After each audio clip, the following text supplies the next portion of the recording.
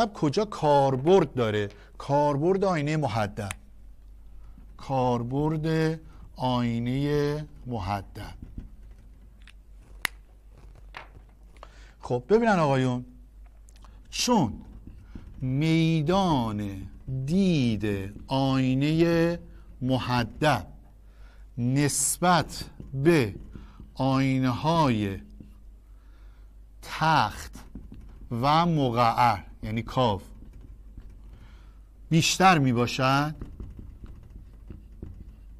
کاربردهای فراوانی دارد.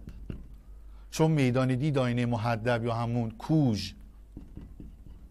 نسبت به آینه های تخت یا و مقعر بیشتر می باشد کاربردهای فراوانی دارد. مثلا در پیچ جاده ها فروشگاه های بزرگ. بعد آینه بغل اتومبیل. آینه پراید رو دیدی؟ آینه بغلش. آینه بغل اتومبیل. خب یعنی چی میدان دید داره بزرگی داره؟ ببینید شما مقابلی که آینه میستید الان که تو آینه خودتون رو می‌بینید یه فضایی از پشت سرتون هم تو آینه می‌بینید. مثلا دیواری که پشت سرتونه اون دیوار پشت سرتون رو می‌بینید. تابلوی رو دیوار وصل نمی‌دونم هر وسیله دیگه ای رو دیوار هست اونا رو می‌بینید. به اون فضایی که از پشت سرتون تو آینه دیده میشه بهش میگن میدان دید. پس شما مقابل آینه ایستادید. خودتون رو می‌بینید یه فضایی از پشت سرتون هم تو آینه می‌بینید. به اون میگن چی؟ میدان دید. ببینید این آینه محدب محدب یا همون کوش. خب این هم چشم یه شخص هست. داره تو آینه نگاه می‌کنه. درست شد؟ خب نگاه بکنید به این فضایی که پشت شخص دیده میشه به این فضاه این چشم شخص. به این فضا میگم میدان دید. اگه بخواید ببینید که میدان چیزی به دست میاد. نگاه کنید یه پرتو نور می‌خوره به این قسمت میاد به سمت چشم. یه پرتو نور می‌خواد به این قسمت میاد به سمت چشم. این میشه میدان دید. ببینید چه میدان دید بزرگیه. میدان دید. آینه کوش اینا به این فضایی که پشت سر این شخص هست بهش میگم میدان دید. آینه تخت هم میدان دید داره. نگاه کنید این آینه تخت. هم اندازه هم اندازه با این باشه. هم اندازه اگه با این باشه میدان دیدش کوچیکتره. میدان دیدش کوچیک. این چشم شخص نور میاد به این صورت می‌خوره به آینه به سمت چشم میاد دوره به همین صورت می‌خوره به سمت چشم میاد. این میشه میدان دیدش. بالا آینه کوچ نگاه کنید چقدر بزرگتره. آینه تخت.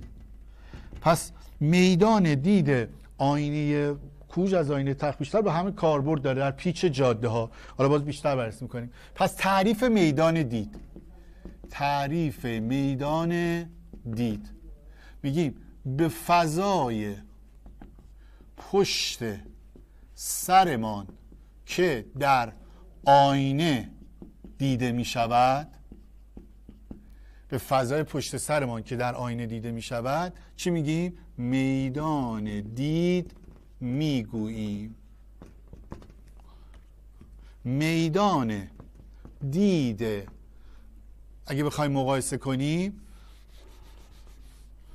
میگیم که رابطه زیر درباره میدان دید آینه ها وجود دارد. خب میدان دید آینه کوژ بزرگتر است از آینه تخت. میدان دید آینه کوژ از تخت بزرگتر نگاه کنید آینه تخت هم از آینه مقعر بیشتره. پس اول میدان دید کوژ بیشتره بعد تخت بیشتره بعد چی؟ مقعر بیشتر هست. خب فکر کنید صفحه 135 کتاب ببینید. فکر کنید صفحه 135 کتاب ببینید. میگه آینه های کوژ اغلب در وسیله نقلیه استفاده می شوند همچنین از آینه ها در فروشگاه های بزرگ به سلامت بزنید تو فروشگاه بزرگ گفتم پیچ تند جاده. فروشگاه بزرگ اون موقع که هنوز دوربین اختراع نشد الان که تو فروشگاه دوربینه کنترل می‌کنن همه جا رو. فروشگاهی که دوربین ندارن آینه های محدب به کار میبردن دور تا دور تا اون فروشنده کنترل داشته باشه به کل فروشگاه. کسی خدای نکرده به قول معروف دزدی چیزی انجام نده. یا حالا مسائل دیگه. پیچ تند جاده ها خب اون ور پیچ معلوم نیست که اتومبیل داره میاد یا نه. تو سر پیچ چی به کار می‌برن؟ آینه محدب به کار می‌برن که اونور پیچ دیده بشه. نگاه بکنید. یه لحظه کتاب الان شکل‌ها رو نگاه بکنید. اون فروشگاه بالا سمت راست. فروشگاه پایینش پیچ جاده است. پس بالا سمت راست فروشگاه پایینش پیچ جاده. دیگه کجا به کار تو آینه بغل اتومبیل بالا سمت چپ آینه بغل اتومبیل. حتی آینه جلوی اتومبیل هم می‌تونه باشه. چرا؟ چون فضای زیادی از پشت سرتون می‌تونی ببینی. راننده فضای زیادی از ماشینایی که پشت سرشه می‌تونه ببینی. تو آینه مثلا به خصوص توی آینه بغل مثلا ماشین اکثرا هست. آینه جلو سعی می‌کنن امروزه تخت به کار ببرن. یکیش محدب باشه یکی تخت. چون وقتی این تخت واقعی می‌بینی پشت سر تو. اما وقتی که محدب می‌ذارن خب یه فضای زیادی رو می‌بینی. خیلی واقعی نیستش. حالا دلیلش رو میگم. بعد میگه به نظر شما کدام ویژگی آینه های کوش سبب کاربرد آنها در این موارد می‌شود؟ اینا این ویژگی. میدان دید آینه محدب نسبت به آینه های دیگه بیشتره. این باعث میشه که ازش استفاده بکنن. اجازه من بحثم تکمیل بشه بعد وقت سوال میدم به شما. بذار من صحبتم تموم بشه. پس میدان دیدش چون زیاده به خاطر همین استفاده میشه. اما بچه توی ماشین یه ایرادی داره. تو آینه بغل اتومبیل یا آینه جلوی اتومبیل بالا سر راننده یه ایرادی داره. سوال. سوال. عیب استفاده از آینه کوژ در اتومبیل چیست؟ عیب استفاده از آینه کوچ در اتومبیل چیست؟ خب کی می‌تونه بگه؟ خود می‌تونی بگی؟ چه؟ دیگه؟ راهنماییتون می‌کنم. توی ماشین پرایتون بغل یه چیزی نوشته آینه بغل. چی نوشته تو پراید؟ نوشته آنچه را که شما دارید تو آینه می‌بینید به شما چیه؟ نزدیکتر است. اگه آینه پراید دیده باشید حتی شما پراید سوار نیستید باشه خوب میشید پراید به شما سوار نمیشید ببینید. اون بغل نوشته نوشته آنچه را که در آینه می‌بینید به شما نزدیکتر است. خب یعنی چی؟ کی می‌تونه بگه؟ چرا؟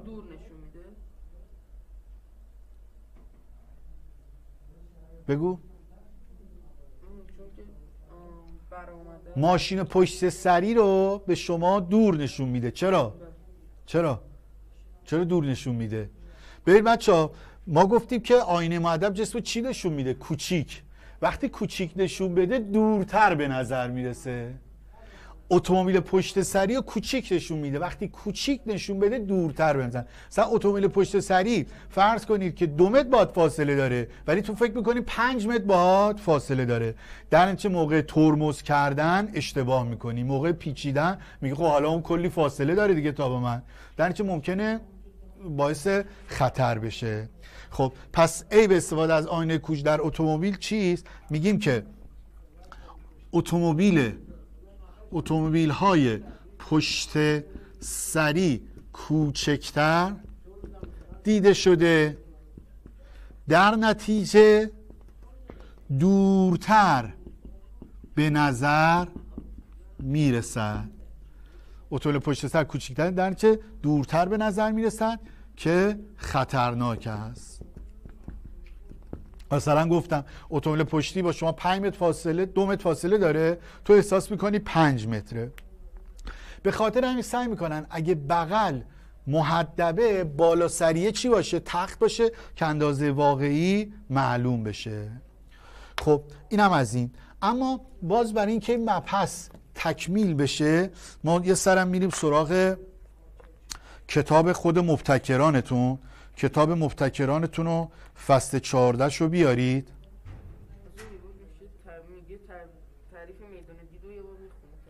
تعریف میدان دید. به فضای پشت سرمون که در آینه دیده می شود میدان دید می گوییم خب بیاید صفحه آره دیگه میدان دید دیگه. گفتم فضای بیشتری پشت سرمونه. خب.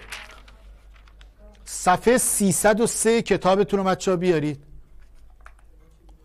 صفحه 303 کتابتون رو بیارید کتاب مبتکران. خب نوشته تصویر در آینه کوش که ما جلسه پیش براتون رسم کردیم. مجازی مستقیم کوچیکتر که ما قشنگ گفتیم شکلم که براتون رسم کرده. از آینه های کوچ در وسیله نقلیه زیاد دیده میشه چون میدان دید بیشتری در اختیار دارید. خب در نگاه کنید یه جای دیگه هم هست میگه در هنگام بازرسی زیر خودروها نیز از آینه کوژی که یک دسته بلند متصل است استفاده می شود شکل پایین سمت چپ رو نگاه بکنید. پس هنگام بازرسی زیر خودروها پس کاربردهای دیگهش کاربرد کاربرد دیگر بازرسی زیر خودروها.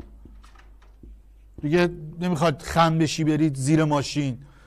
یا آینه دستدار بلند نگاه بکنی شکل رو زیر ماشین می‌ذارن و می‌تونن خدای نکرده اگه روغن ریزی یا موردی داره ببینن. بیاید صفحه 304 کتابتون. خب میدان دید در آینه ها نگاه کنید. به بخشی از فضای جلوی آینه که می‌توان در آینه ببینیم میدان دید میگن. دو تا تعریف داری یه تعریف من گفتم. به فضای پشت سرمون. یه تعریف هم اینجا می‌تونی. این هم هست. به بخشی از فضای جلوی آینه که می‌تونه در آینه دید. همین شکلایی که من کشیدم براتون رسم کرده. نگاه کنید. میدان دید آینه محدب و میدان دید آینه تخت بزرگتر هست که براتون رسم کرده. اما یه آینه دیگه ای داریم آینه های شلجمی. همون آینه های شلجمی همون آینه های مقعر فقط گودیشون زیاده. اینا دیگه تو کتابا نیست. دیگه سی سال از کتابا هست شده. احتیاجی هم نیستش که شما یاد بگیرید. ولی آینه های شلجمی آینه هایی که حالا هم حالت مقعر هستن محدبش ولی دهانش گودیش بیشتر از آینه تخته. مثلا آینه معمولیه. مثلا اگه فرض کنید آینه مقعر باشه معمولی این کوژ معمولی باشه محدب معمولی باشه مثلا کاو معمولی باشه این گودی این اینجوریه. گودیش بیشتره. میشه شلجمی میگم کتابا منسوخ شده دیگه نمیاد. کجا کاربرد داره؟ چراغ جلوی ماشین. این شکلیه. چراغ جلوی ماشین. نور رو بازتاب میده. این چراغ لامپ ماشینه. نور که می‌خوره به ماشین پرتوهای نور موازی ازش میاد بیرون. همون نوری که شما می‌بینید از چراغ میاد بیرون. این هم از که خودتون باز یه نگاهی بهش میندازید که میگم دیگه توی برنامه ها نیستش. آینه شلجمی چراغ چراغ جلوی اتومبیل. خب اینم بحث تکمیلی بود از آینه های کروی که مونده بود. دیگه اینا من خدمتتون گفتم. حالا اگه بشه چند تا تست هم حل می‌کنیم. درس امروزمون. اینایی که گفتم. اگه سوالی هست بفرمایید. این تکمیل شد دیگه. میدان دید رو نگفته بودیم گفتیم. میدان دید کدوم آینه بزرگتره؟ توضیح دادیم دیگه. خب در تو مطالب که گفتم یا آینه های کروی اگه سوالی هست بگید. می‌خوام بریم چند تا تست کتاب مبتکران هم انجام بدیم.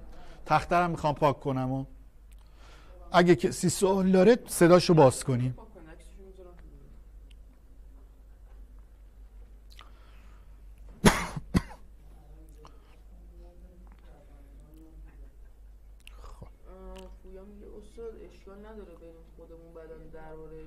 نه بخونید. من گفتم اصلا جز مطالعه آزاد اصلا جز درستون هم نیستش. برای دندون پزشکی گفتیم آینه شلجمینه کامون آینه مقعر معمولیه که گفتیم. شلجمین جا گفته کجا استفاده میشه؟ توی نمی‌دونم نورافکن هست توی ارزم حضور شما اون زده هیترهای برقی هست. خب بریم یه چند تا تستای مبتکران که مربوط به درس آینه های کروی هست که حالا تو ذهنتون هست انجام بدین. ما بقیه تستا که مرد به نمی‌دونم سایه نیم سایه باستاب نور آینا. گفتم خودتون برید کار کنید. ایشالله بعد از عید فرصت شد رو اونا کار خواهیم کرد. خب چند تا تست از بحث آینه های کروی می‌خوایم انجام بدیم. صفحه 309 کتابتون رو بیارید صفحه 309 دو تا سوال 33 34 روش کار کنید. 33 34 روش کار کنید تا من تخته رو پاک می‌کنم.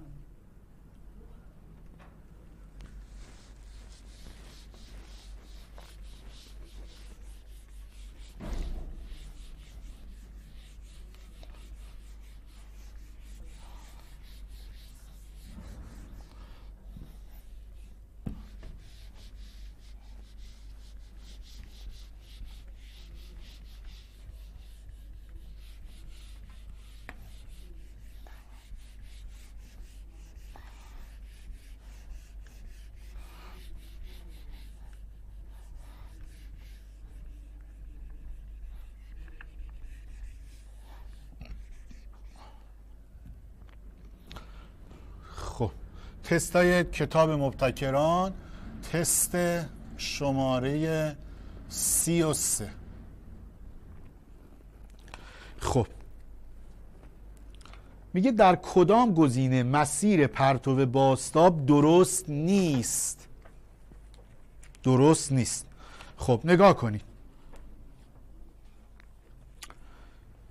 گزینه یک رو ببینید نور با یه زاویه خورده با همون زاویه هم باستاب کرده که قطعا زاویه تابش و باستاب با هم برابره. که خب اونجایی که نور خورده می‌بینید یه خط عمود رست کرده. خب این درسته. سال دو رو نگاه کنید. پرتو نوری خورده به آینه چی؟ محدب. امتدادش از سی رد شده. رو خودش برگشته. یادتونه رسم پرتو؟ گفتیم نوری که از سی رد بشه رو خودش برمیگرده. یا امتدادش از سیرت رو خودش من. پس شماره دو هم درسته. سه هم درسته. نوری که از کانون رد بشه بخوره به آینه مقر موازی برمیگشت. موازی محور هستی سه هم درسته. کدوم غلط میشه؟ چهار.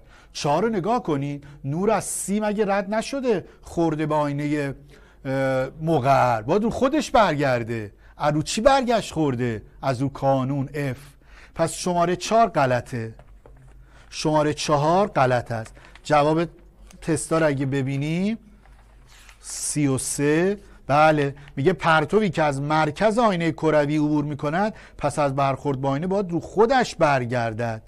جوابش رو نگاه بکنی بچه ها صفحه 319 سوال 33 جوابش رو ببینید. نوری که از رو سیرت شده باید رو خودش برگرده. آها نوری که از روی سی رد شده. اینجا اگه سی باشه نور خورده باید رو خودش برگرده. که همونطور که می‌بینید رو خودش برگشتی انجام نشده. خب این از سوال سی و سه. اشکال نیست تو تست شماره سی و سه؟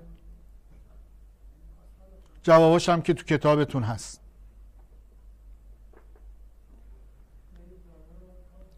خب بریم سراغ سوال سی و چهار. میگه در کدام یک از حالتهای زیر تصویر مجازی تشکیل می شود خب یه یادآوری من بکنم. تصویر مجازی ارزم به حضور شما که آینه تخت تصویر مجازی می‌داد. آینه محدب هم تصویر مجازی می‌داد. همین الان رست کرد آینه مقعرم تو یه حالت تصویر مجازی. پس هر سه تا آینه تصویر مجازی رو میدن. جلسه پیش هم گفتم. مجازی که تخت میده با جس برابره مجازی که محدب میده کوچیکتره مجازی که مقر میده بزرگتره. درست شد؟ خب بریم یکی یکی گزینه ها رو بررسی کنیم. در کدام کسالتی تص...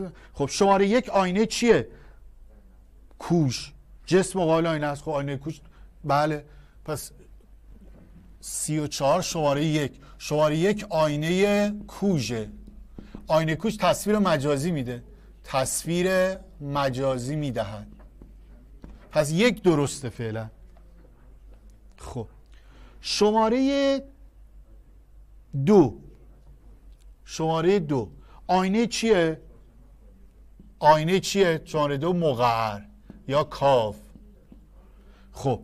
کدوم حالتشه؟ جسم رو کانونه بچه ها من شش تا حالت براتون رست کردم. خب جسمی که رو کانون بود حالت شماره دو بود. تصویر مجازی نمی‌داد.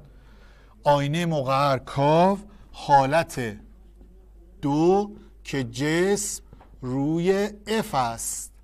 خب تصویر مجازی نمی‌داد. تصویر مجازی نمی‌دهد. خب شماره دو بعد تصویر مجازی نمیده. یک درسته میده دو نمیده سه. سه رو نگاه کنید آینه دوباره کاف جس تو فاصله کانونیه. دوباره آینه کاف جسم در فاصله کانونی. بین اف و آینه قرار داره. اینها این اف این جسم خب وقتی جسم تو فاصله کانونی بود تصویر مجازی می‌داد دیگه پشت آینه. تصویر مجازی. جس در فاصله کانی تصویر مجازی می‌دهد. اولین حالت آینه کاف پس این هم درسته. پس هم یک تصویر مجازی میده هم سه تصویر مجازی میده. اما گزینه چهار چی گفته؟ گزینه های یک و سه. پس گزینه چهار درسته. گزینه چهار صحیح است. خب شما باید به شکل مسلط باشی. شش حالت آینه مقر باید مسلط باشی. تو آینه مقر شماره سه تصویر مجازی فقط میده. آینه کوژ هم که همیشه تصویر مجازی میده. پس جواب میشه یک و سه. جواب گزینه چهار صحیح هست اگر رو سال سی و چهار سوالی هست بفرمایید. بی نهایته که اون جزء مجازی نیست. گفتیم اصلا صحبت نمی کنیم خب.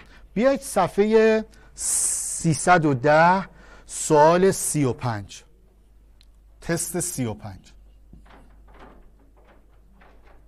هر کی برای خودش یه بار بخونه سوالو.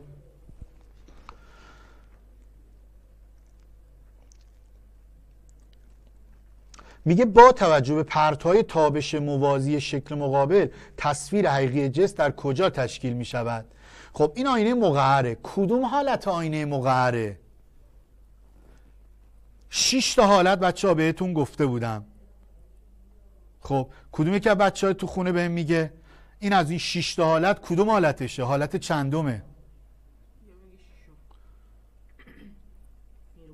هیربود شیشم باری کلا حالت شیشمه که جس در بی نهایت بود. حالت شش آینه کاو که جسم در بی نهایت است. خب جسمی که تو بی نهایت بود یادتونه تو اون شکل رو برید یه بار دیگه نگاه بکنید دو تا پرتو میفرستاد. یکی از افرد می‌شد یکی از روی سی رد می‌شد. خب اینها. این F این هم C. اونی که از رو F رد می‌شد موازی با پیدا می‌کرد. اونی که از روی C رد می‌شد رو خودش برمیگشت. کجا هم دیگه اینا رو قطع می‌کردن؟ رو خود کانون رو F تصویر رو F میافتاد. این جسم این تصویر. حالت شیشم رو F موازی رو C رو خود. تصویر رو کانون میافتاد. پس تصویر روی اف کانون. خب بریم ببینیم کدوم گزینه میشه. سه گزینه سه کانون گزینه سه. سی و پنج تو جوابام یه بار چک کنیم. بله گزینه سه. حتی می‌تونید تو کتابم نگاه کنید که شکلشو این من براتون رسم کرده. اشکال نیست تو سال سی و پنج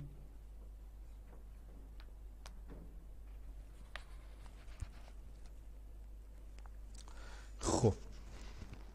اما سال بعدی که می‌خوایم جواب بدیم سوال ارزم به حضور شما که سی و هفت.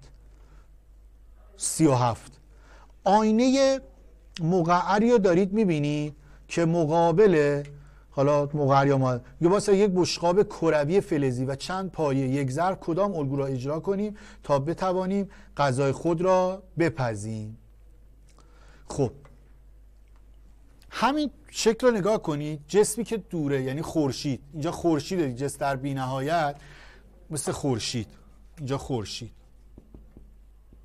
خب نوری که میفرسته کجا جمع میشه همه؟ روی کانون.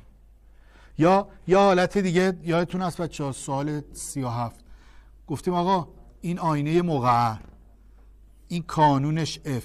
هرگاه پرتهای نور موازی از یه جسم دور بخوره همگی میان از یه نقطه رد میشن. که اون نقطه چی بود؟ کانون. گفتیم اینجا دما خیلی زیاد میشه. اینجا دما بالا می‌رود. گفتیم اگه اینجا شما یه ظرف آبی داشته باشی آبو می‌تونه گرم کنه. کجا کاربرد داشت؟ در آب گرم کنهای خورشیدی. گفتیم جایی که سوخت نیست می‌تونن از این وسیله استفاده بکنن آبو گرم کنن برای استفاده کردن. فرض کنید حالا اینجا تو کانون غذا باشه. غذاتون گرم میشه دیگه دمای خیلی زیاد غذا گرم میشه. پس اون غذای ما باید رو کانون قرار بگیره. سوال سی و هفت. ظرف در کانون بازم میشه گزینه سه. گزینه سه. بریم ببینیم درسته سوال سی و هفت. بله گزینه سه. که شکلش هم قرار داده. ظرف غذا باید در کانون قرار بگیره تا گرما تو کانون. در واقع است اونجا غذا گرم میشه. اشکال تو سال سی و هفت.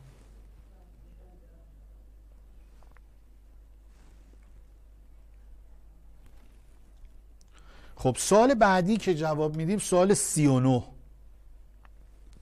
هرچی یک جسم را به آینه کوژ نزدیک می‌کنیم تصویر آن خب چی میشه؟ با آینه نزدیک می‌شود. آینه کوژ همین تخته قبلی گفتیم. گفتیم همیشه تصویر مجازیه پشت آینه است. مستقیم کوچیکتره. فقط جاش تو فاصله کانونی عقب جلو میره وگرنه دیگه کوچیکتر که نمیشه. یا بزرگتر که نمیشه. پس میشه همین الان هم نکته نوشتم. گفتم جس که به آینه کوژ نزدیک میشه تصویرم به آینه نزدیک میشه. پس 39 میشه گزینه یک. 39 گزینه یک. بله. هر چقدر که جسم به آینه کوژ نزدیک می شود تصویر نیز به آینه نزدیک میشه.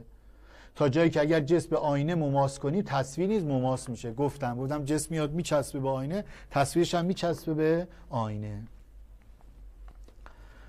خب اینم از این. اما آخرین سوالی که می‌خوایم جواب بدیم سوال چهل و چهار. سال چهل و چهار. میگه کدام کاربرد مربوط به آینه متفاوتی است؟ الان کاربردهای آینه کوژ گفتم. کدام متفاوته؟ یعنی مربوط به دو تا آینه میشه. خب بازرسی زیر خودرو چی بود؟ آینه کوش همین الان گفتیم. سر پیچ جاده ها چی بود؟ آینه کوش. آینه بالای سر راننده چی بود؟ آینه کوش. اما نورافکن اینها نورافکن آینه مقعر نورافکن اینجوری بود دیگه. گفتیم آقا نورافکن یا آینه مقعره لامپش رو کانونه. لامپ رو خود کانون هست. پرتانون از کانون رد میشه بیخوره به آینه. موازی برمیگرده. این نورافکنه نورافکن پس آینه کاو هست. اون ستای دیگه آینه کوژ بود. نورافکن آینه کاوه لامپ رو کانونه. نور می‌خوره موازی برمیگرده. پس جواب میشه گزینه سه.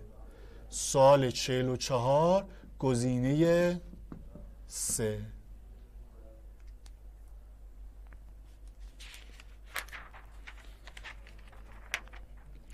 بله چهل و چهار گزینه سه. اون ستای دیگه هم آینه محدب بود. ستای دیگر آینه کوژ یا محدب بودش. اشکال نیست تو سال 44 45 هم جواب بدیم و تمام. 41 مال داریم ما سواله مربوط چی رو جواب میدیم؟ آینه های کروی رو. 41 آینه کروی نیست آینه تخته آینه تخت هم سر موقع خودش جواب میدیم خب 45 در کدام مورد نمی‌توان تصویر حقیقی ایجاد کرد؟ آینه کاف. نه آینه کاف تا تصویر حقیقی میده. 5 تا حالت آینه تصویر حقیقی بود. یه حالت تصویر مجازی بود. پس آینه کاف تصویر حقیقی میده. آینه تخت تصویر حقیقی نمیده. آینه کوش تصویر حقیقی نمیده. پس هم دو درسته هم سه. پس جواب میشه گزینه چهار. یعنی دو و سه. پس یه بار دیگه. آینه کاف حقیقی میده. تخت مجازی میده. کوژ مجازی میده. پس جواب میشه گزینه چهار. مورد دو و سه. پس چهل و پنج. گزینه چهار. آینه تخت و کوژ همواره تصویر مجازی می‌دهند. آینه تختگو همواره تصویر مجازی میدن آینه کاو هم مجازی هم حقیقی می‌دهد. پس حقیقی می‌تونه بده. جواب میشه گزینه چهار.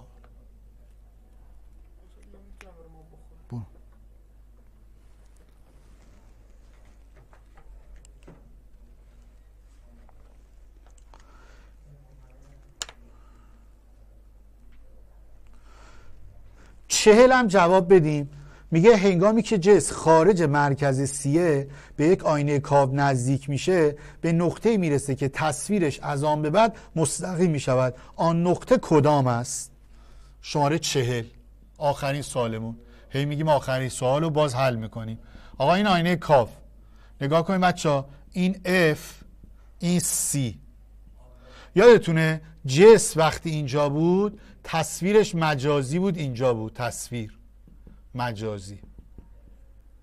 ولی وقتی می اومد روی F تصویر می افتاد اینور. یا اینجا بود تصویر حقیقی بود یا اینجا بود این قسم از اینجا به بعد تصویر حقیقیه. یعنی جس وقتی که روی F یا پشت F تصویر حقیقیه.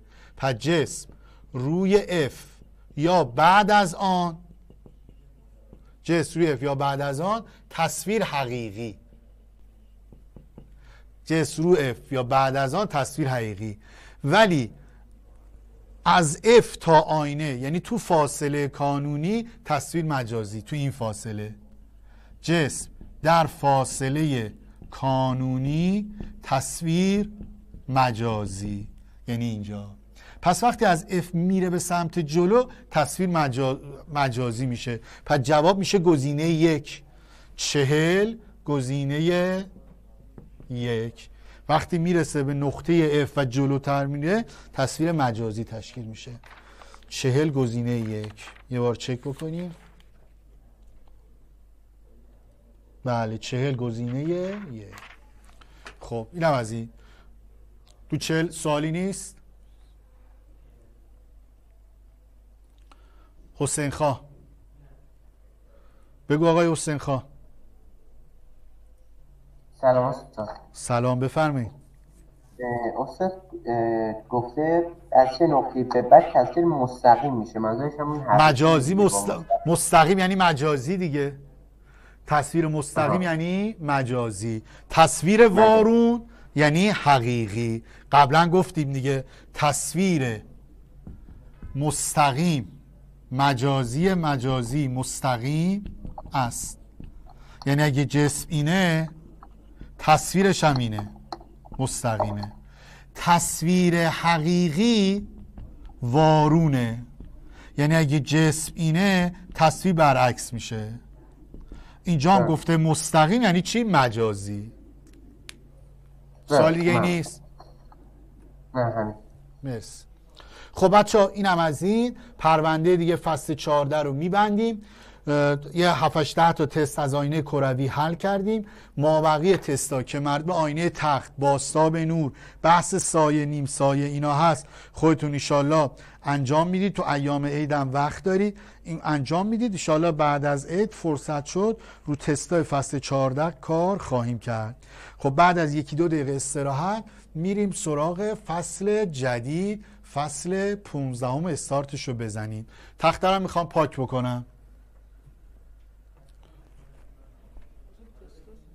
آره این تستا بودش.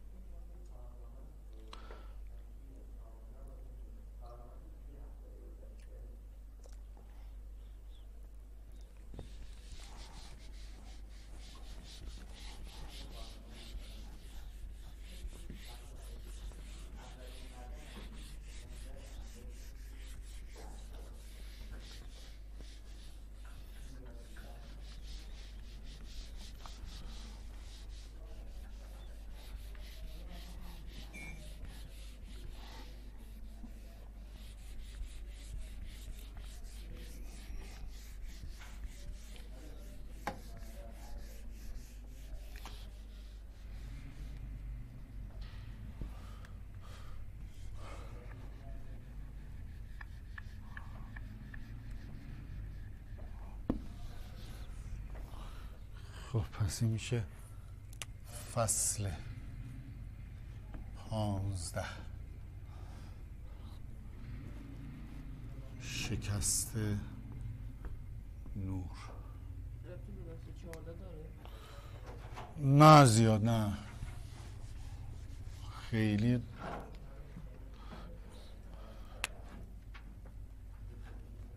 شکست نور.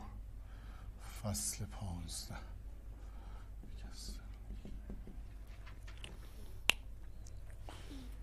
ساعت چنده؟ تو کامپیوتر؟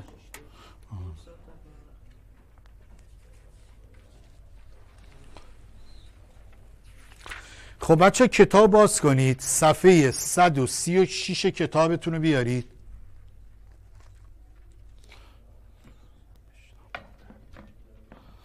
صفحه 136 کتابتون.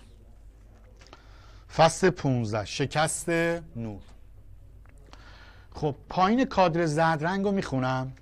میگه شکست نور. در فصل قبل با انتشار نور در خط راست و تشکیل تصویر در آینه های مختلف در اثر بازتاب نور آشنا شدید. بله فصل 14 در ارتباط انتشار نور و باستاب نور بود. دیدید مسیر نور خط راست بود؟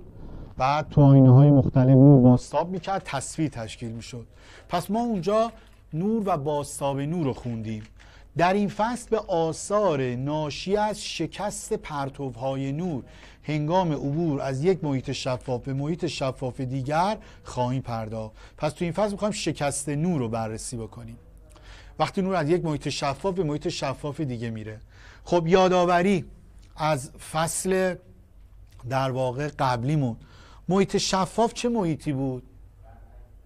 محیطی بودش یادتونه محیط ها رو به سه دسته تقسیم کردیم. شفاف نیمه شفاف کدر. محیط ها رو به سه دسته تقسیم کردیم. شفاف نیمه شفاف کدر. خب محیط شفاف محیطی بود که نور ازش عبور می‌کرد. مثل شیشه های معمولی مثل آب. نیمه شفاف بخشی از نور عبور می‌کرد مثل ورقه کاغذ یا شیشه های مات. جسم کدرم در واقع جسمی بود که اصلا نور از خودش عبور نمی‌داد. اون ورش معلوم نبود. مثل دیوار مثل تخته مثل میز. خب پس ما بحثمون روی محیط های شفاف هست. حالا ببینیم شکست نور چیه. خب کادر زرد رنگ همون صفحه 136 قسمت کادر زرد رنگ که مقدمه است شکست نور رو تعریف کرده. میگه هنگام حرکت مایل نور از یک محیط شفاف به محیط شفاف دیگر مسیر آن تغییر می کند این پدیده شکست نور نامیده می شود علامت بزنید. پس وقتی حرکت مایل نور زیر کلمه مایل هم خط بکشید.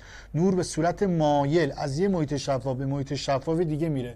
مثلا از هوا وارد آب میشه از آب وارد شیشه میشه. مسیرش تغییر می‌کنه. به این میگن شکست نور. جلوه های بسیار زیبا و مهیجی در طبیعت پیرامون این شکست نور به وجود میاد. یه سری اثرهایی به وجود میاد که دلیل شکست نور هست. خب مثل چی مثلا بچه ها شما دیدید وقتی که از کنار یک استخر پر از آب رد میشید از بغلش به نظر می‌رسه کف استخر داره بالاتر میاد. یا یعنی عمق استخر رو کمتر می‌بینید کف استخر داره میاد بالا. یا یه قاشقی که توی لیوان آبه می‌بینید از اون قسمتی که وارد آب شده قاشق شکسته به نظر می‌رسه.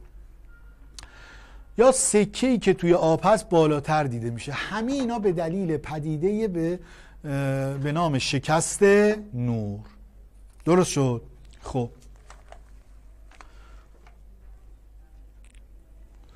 بریم اول پس شکست نور رو تعریف کنیم.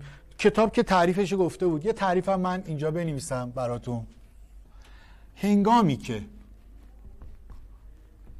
نور به طور مایل زیر کلمه مایلش خط به طور مایل از یک محیط شفاف به محیط شفاف دیگر میتابد به هنگام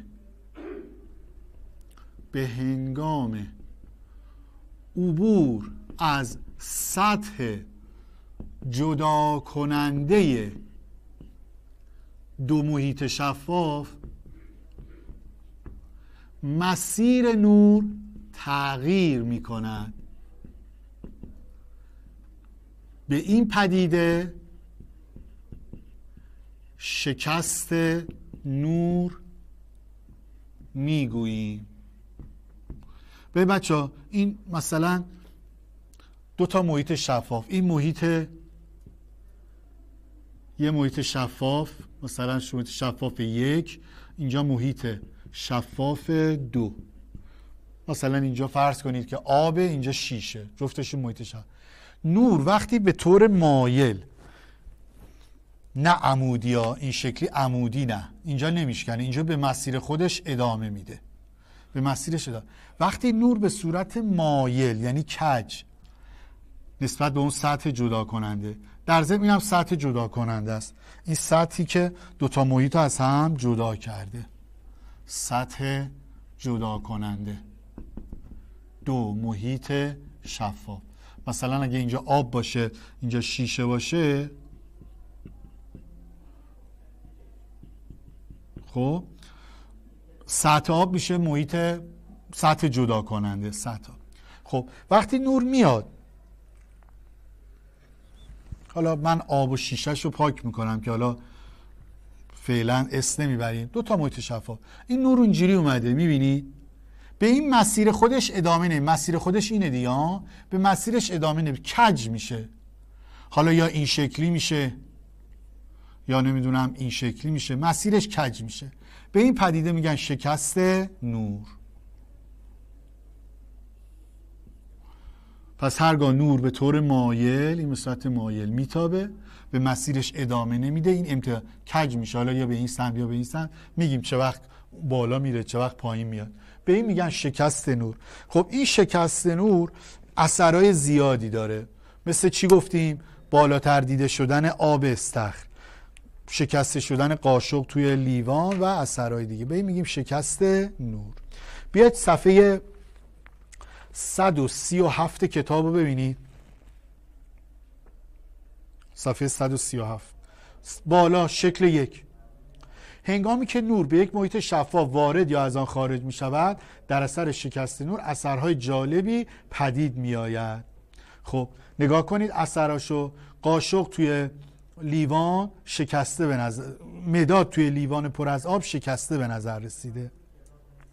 یا یه پرتو نوری به یه منشور تابیده. توی منشور موقعی که وارد میشه خارج میشه مسیر نور عوض شده. یا اون شکل سوم رو نگاه بکنید که یک عدسی هستش. در اثر شکست نور تو این عدسی تصویر اون درخت بزرگتر یا اونجا کوچیکتر دیده شده. درست شد. پس اثرهای مربوط به شکست نور. چند؟ سوال.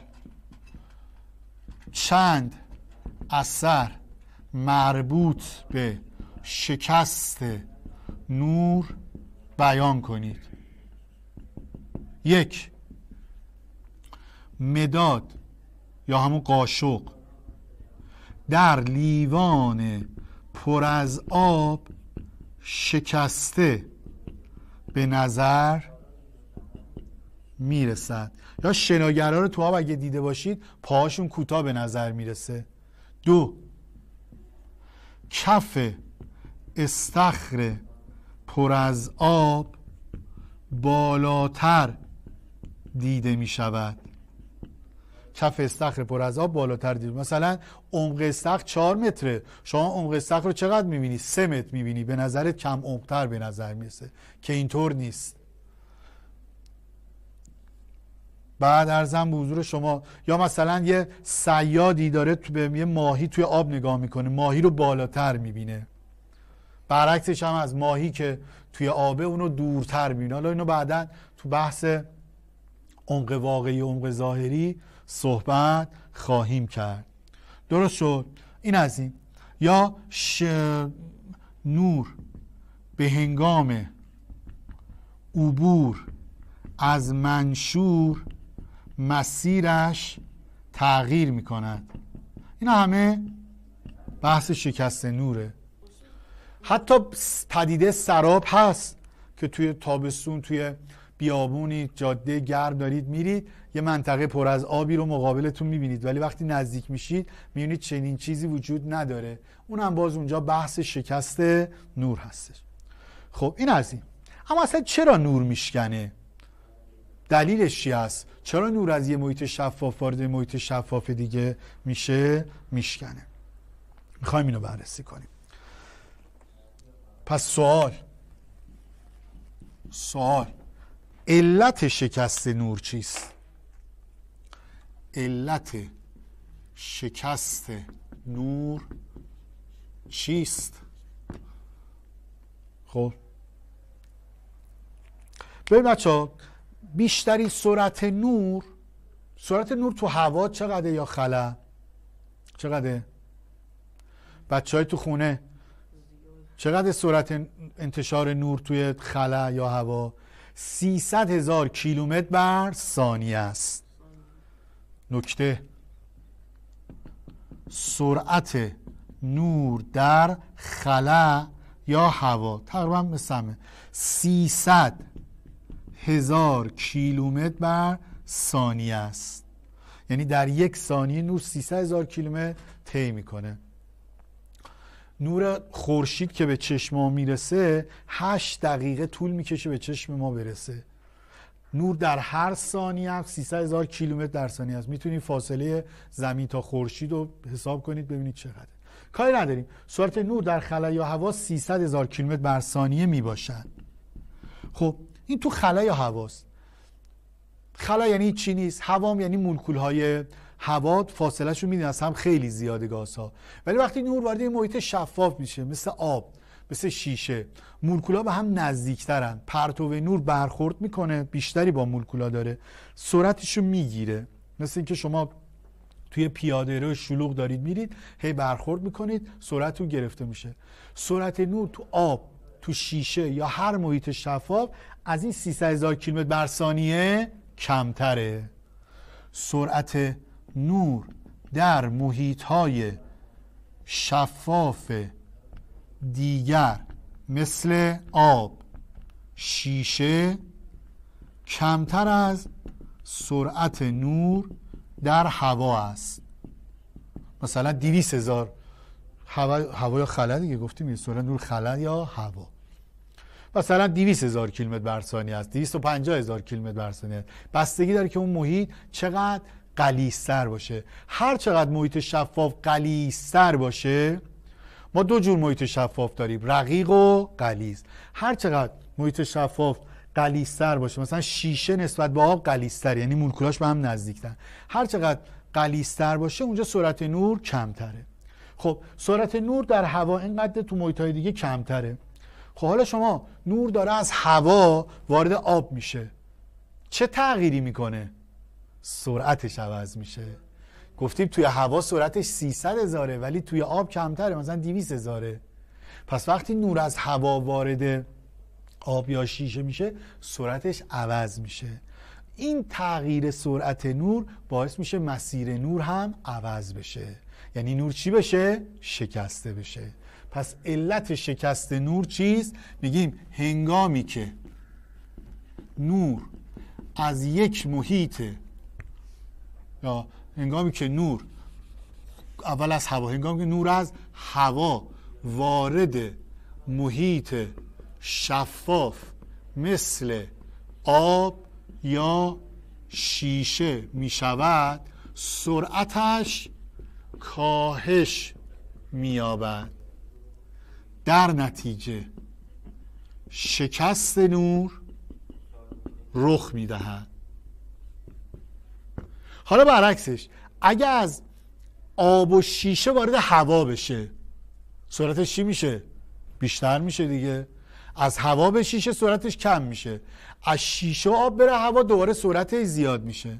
در چه شکست نور رخ میدن اگر نور از آب از آب و شیشه به هوا بتابد سرعتش افزایش مییابد. درست شد. باز هم شکست نور رخ می‌دهد. باز هم شکست نور رخ می‌دهد.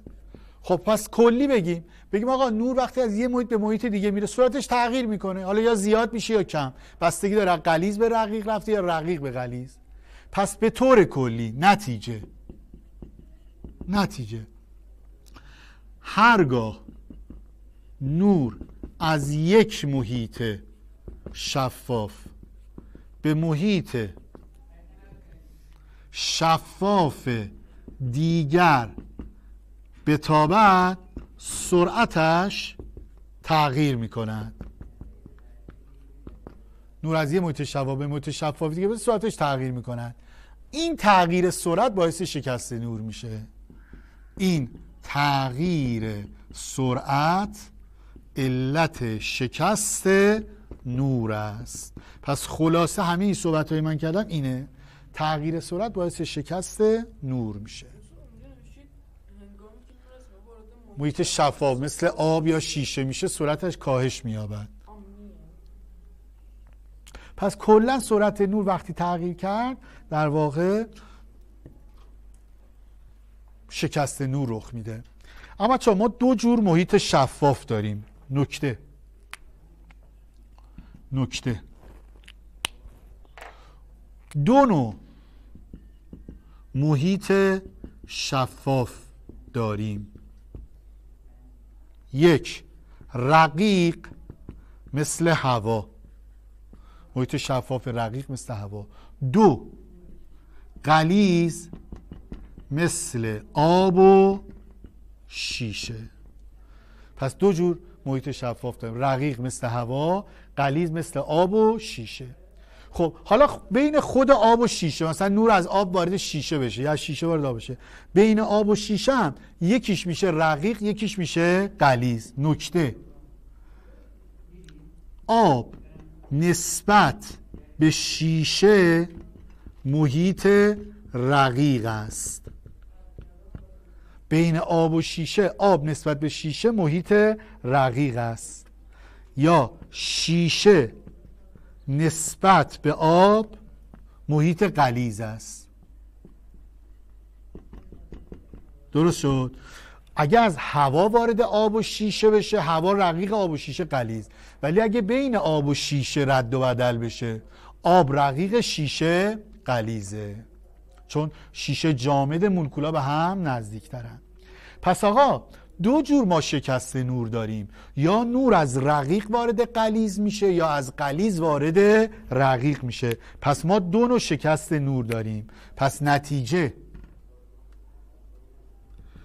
دو نوع شکست نور داریم. از رقیق به قلیز یک از رقیق به قلیز دو از قلیز به رقیق. که جفت اینا رو می‌خوایم بررسی کنیم. نور از رقیق به قلیز بره چه اتفاقی میفته از قلیز به رقیق بره چه اتفاقی میفته اینا رو بررسی خواهیم کرد. خب تخترم دیگه پر شد می‌خوام پاک بکنم. تا اینجای مبحث بچه اگه سوالی هست بفرمایید. آقای حسین خواه صدات باز میشه. بگو سوال تو. سلام استاد. سلام بفرمایید. استاد یه جدول خیلی وقتیش سال چهارم نمی‌دونم بهم داد بهمون دادن که سرعت حرکت امواج صداها توی جامدات بیشتر از مایاته نور دقیقا برعکسشه درسته؟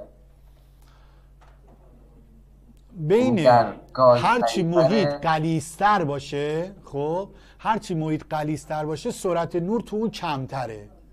جامدات نسبت به مایعات قلیسترن حالا ما بعدا توی کتابای قدیم بود یا شاید سالهای با تو دانشگاه بخونید یا تو سال دوازدهم که آقا به محیط ها یه عددی نسبت میدن به نام ضریب شکست.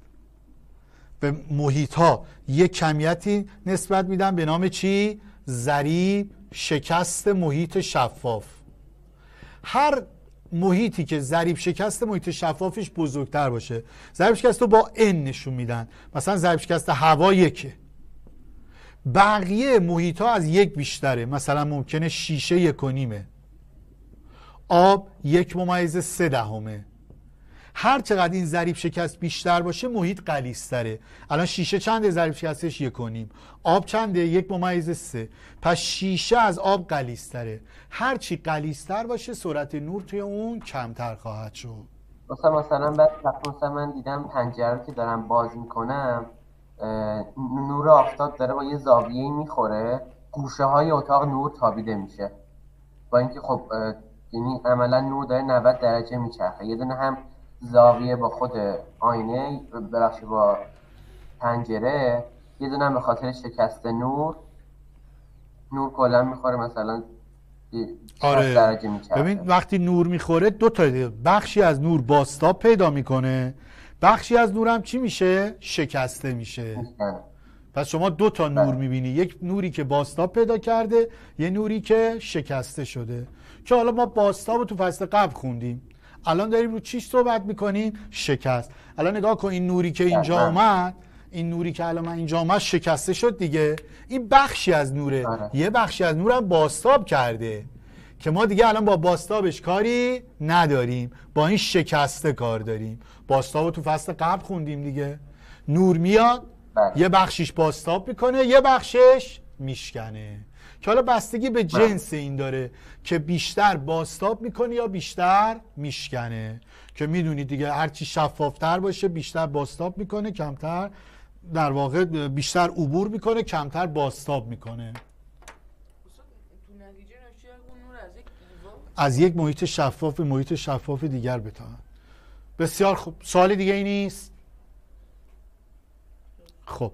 تخته رو می‌خوام پاک کنم. بریم حالا این می‌خوایم ببینیم. این شکست نور دو جوره. رقیق به قلیز قلیز به رقیق. ببینیم چه شکلیه. باش. خب. ابتدا آزمایش صفحه 137 کتاب بچه بیارید. آزمایش صفحه 137 کتاب. هدف آزمایش بررسی شکست نور در یک تیغه شیشه‌ای چراغ قوه لیزر تیغه شیشه‌ای و الی آخر. یک یک تیغه شیشه‌ای رو رو سطح میز قرار دهید و باریکه نور را به طور عمودی بر یکی از وجوه آن بتابید. شکل الف. با توجه به مسیر باریک نور پس از عبور از تیغ شیشه امتداد باریک نور را در شکل الف کامل کنید. شکل الف رو ببینید. نور خورده به, شیغ... به تیغ شیشه گفته مسیرش رو رسم کنید. چه شکلیه مسیرش.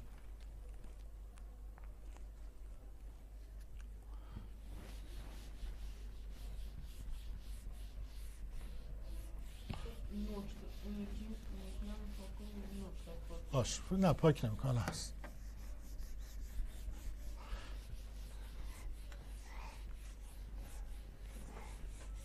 خب پس آزمایش آز صفحه 137 کتاب. آزمایش صفحه 137 کتاب. خب شکل الف رو نگاه بکنید. این شکل الف. پرتو نور لیزر به این صورت تابیده شده و خورده به یک تیغه شیشه ای یک تیغه شیشه. گفته مسیر نور رو رس کنید. خب این تیغه شیشه ای تیغه شیشه محیط شفاف دیگه. نور ازش رد میشه. می‌خواد وارد شیشه بشه. خب ما گفتیم پرتای نوری میشکنن که به صورت مایل بتابند به اون سطح جدا کننده به این بچه اینجا حواس. نور داره از هوا وارد شیشه میشه از رقیق داره وارد قلیز میشه. حالا فعلا با این کاره. نور چجوری خورده؟ این سطح جدا کننده است. سطح جداییه. هوا و شیشه است. نور چجوری خورده به این سطح جدایی؟ عمود. 90 درجه عمود. گفتیم نوری که عمود بخوره نمیشکنه. به مسیرش ادامه میده. به این صورت وارد شیشه میشه. بازم عموده. دوباره به مسیر خودش ادامه میده. پس تو شکل الف هیچ شکست نوری رخ نمی‌دهد. در الف شکست نور اتفاق نمیافتد و نور به مسیر مستقیم خود ادامه می‌دهد. چه موقعی که وارد شیشه میشه چه موقعی که دوباره وارد هوا میشه. هوا شیشه هوا. چون عمود تابیده بدون مس مورد گفتیم حتما باید مایل بتابه. این از شکل الف. خب شکل الف اشکالی نیست. معلومه دیگه.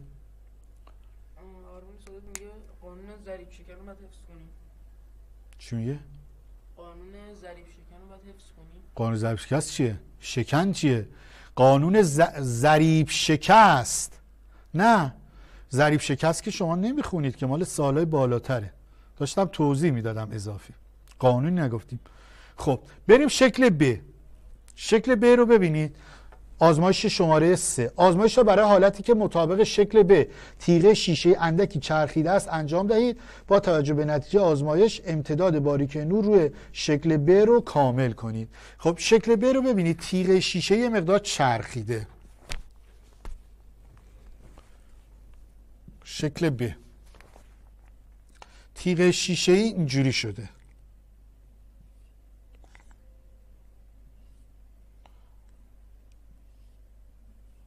این شکلی شده تیغه شیشه نور دوباره همونه. این نور همون بالایی است. دوباره از هوا داره وارد تیغه میشه. اما نگاه کنید بچه‌ها دیگه عمود نیست بر این وجه. این سطح جداییه دیگه. سطح جدایی هواشی. دیگه عمود نیستش. یه زاویه می‌سازه با این سطح. خب من برای اینکه این زاویه رو پیدا کنم اینجا میام یه خط عمود رسم می‌کنم. نگاه کنید این الان عموده بر سطح شیشه. خب این نور الان بر این سطح دیگه عمود نیستش مایل تابیده. یه زاویه می‌سازه. مثل اینجا عمود اینجا 90 درجه بود. اما اینجا دیگه عمود نیست بر سطح جدایی. داره یه زاویه می‌سازه. این نور به مسیر خودش ادامه نمیده. مسیرش اینه دیگه. به این مسیر خودش ادامه نمیده. به خاطر اینکه عمود دیگه نیست بریم و مایل میشکنه. داره از هوا وارد تیغه میشه میشکنه. چه شکلی میشکنه؟ اینها به این صورت. کج میشه به این صورت میشکنه. درست شد. حالا میگیم که بعدا چجوری میشکنه چه اتفاقی میفته؟ خواهیم گفت. حالا دوباره داره از شیشه وارد چی میشه؟ وارد هوا میشه. بازم میشکنه به این صورت. پس از هوا وارد شیشه شد تیغه شیشه ای دوباره وارد هوا شد. یه بار اینجا شکست چون مایل بود. اینجا هم دوباره مایل خورده به این سطح. کجه؟ 90 درجه دوباره میشکنه. پس اینجا مسیر نور در این شکل دو بار شکست نور اتفاق میافتد. یه بار به هنگام ورود یه بار هم به هنگام خروج. پس چه نتیجه می‌گیریم؟ پایین گفته همانطور که با انجام دادن آزمایش بالا دیدید وقتی باریکه نور به طور عمود بر سطح یک تیغه شیشه‌ای یا هر جسم شفاف دیگری بتابد بدون شکست به مسیر خود ادامه می‌دهد. پس علامت بزنید. قبلا هم گفته بودیم نور عمود بخوره نمیشکنه. شکل الف. در حالی که اگر باریکه نور شکسته شود به آن شکست نور می‌گوییم شکل ب این پدیده هنگام عبور نور از یک محیط شفاف به محیط رخ می‌دهد. در آزمایشی که انجام دادید دیدید که وقتی نور از شیشه وارد هوا میشه دوباره میشکنه. بله. یه بار از هوا وارد شیشه شد شکست یه بارم از اینجا وارد هوا شد دوباره شکست. نکته مهمی که باید با آن توجه شود این است که وقتی نور از شیشه محیط غلیظ به هوا محیط رقیق بتابه از خط عمود بر سطح جدایی دور می شود نگاه کن این خط عموده. این خط عموده دور میشه. اینجا به خط عمود نزدیک شده اینجا دور شده. این خط عمود اینجا به خط عمود نزدیک شده اینجا خط عمود دور شده. خط عموده. حالا اینا رو دوباره توضیح میدم توی شکل مجزا. خب پس می‌بینید از هوا به شیشه یه جور میشکنه از شیشه به هوا دو جور میشکنه. یعنی از رقیق به قلیز یه جور میشکنه قلیزه. از قلیز به رقیق یه جور دیگه میشکنه. پس ما دو جور شکست نور داریم رقیق به قلیز قلیز به رقیق. که حالا می‌خوایم اینا رو بررسی کنیم. خب بیایم صفحه 138 کتاب. تو شکل به اشکالی نیست؟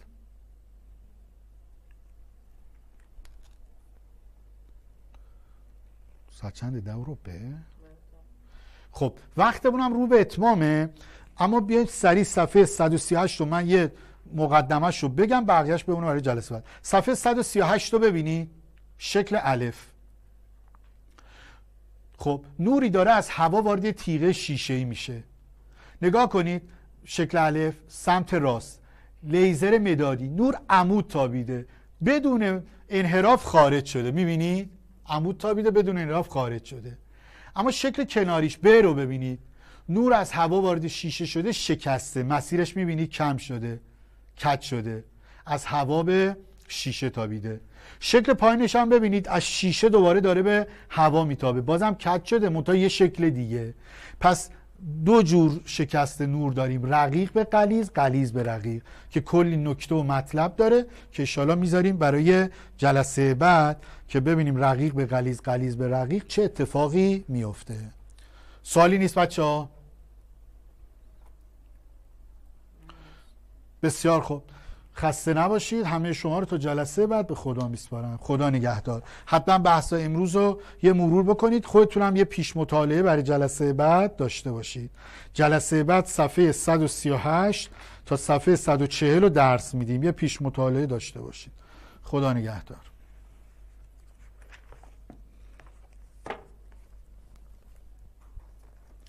خسته نباشید دست در نکنه.